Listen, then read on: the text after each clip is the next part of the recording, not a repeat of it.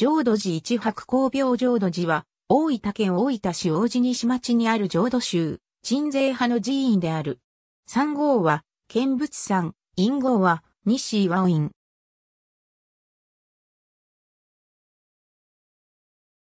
本尊は、阿弥陀如来。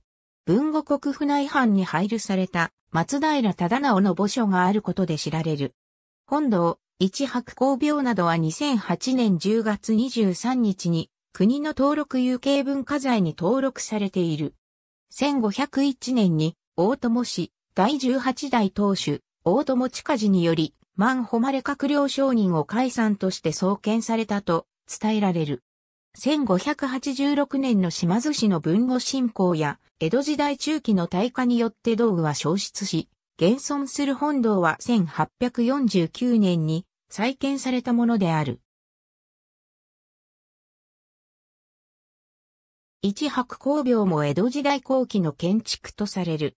2009年からは本堂や栗を建築当時の姿に戻すための大改修が行われている。本堂は境内のほぼ中央に位置し東表する。入母屋造本河原吹きの大規模な七魔道で、正面に一見荒廃が付されている。四天中上部の組物や四輪などには琴や琵琶などの装飾が彫られている。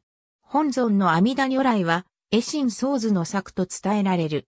江戸時代初期から中期に建てられた薄木城の書院を移築したものであると伝えられている。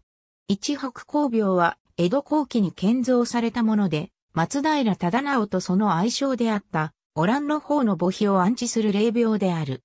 本堂の東に位置する、桁行き3.0メートル、張間2.4メートルの入りもや作り、妻入り三瓦武器で、正面には、軒頭破風が付されている。